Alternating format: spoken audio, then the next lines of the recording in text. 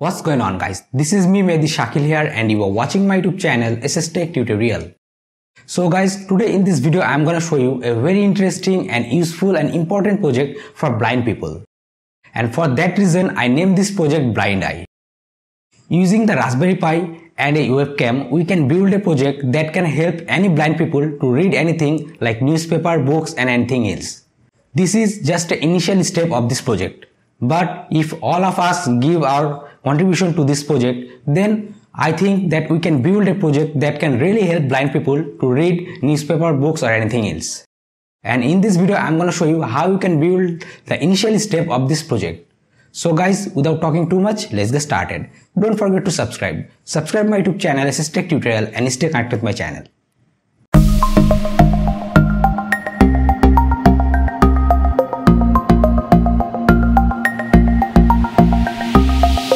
So guys, to build this project, you need a Raspberry Pi board. It can be Raspberry Pi 0W to Raspberry Pi 4. You can use any of this board. Then you need a class 10 SD card for Raspberry Pi OS, at least 8 gig memory card.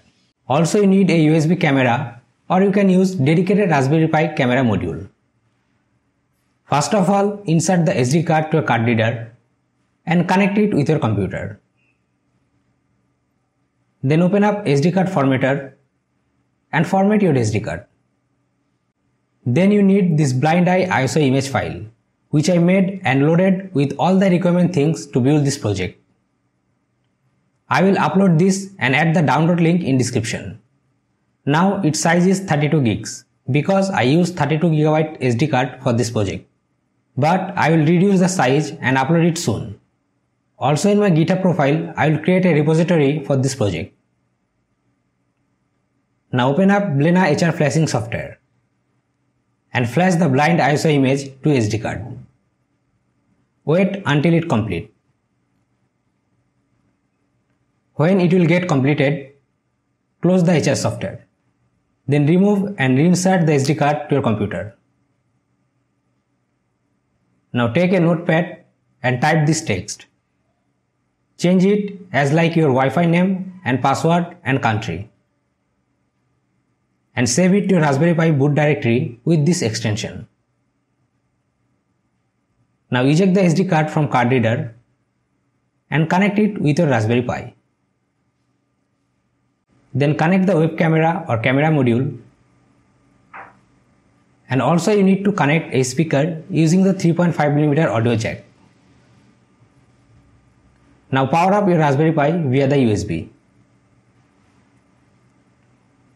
Then go to your computer and find the Raspberry Pi IP address. If you use LAN connection, then use advanced IP scanner or just simply go to your router admin panel and get the Raspberry Pi IP address. Now you need to take a SSH connection with your Raspberry Pi using the PuTTY SSH client. Default username is Pi and password is Raspberry. Now clear your terminal. Then type ls. And here you will get a Python script. Let me open it. What does this script do is it capture an image then find out the text from the image and speak up the text. Now let me demonstrate it to you. First, I need to set up a text. Okay, it's ready now. When I will press enter to Raspberry Pi terminal, it will start working. Now let's test it out.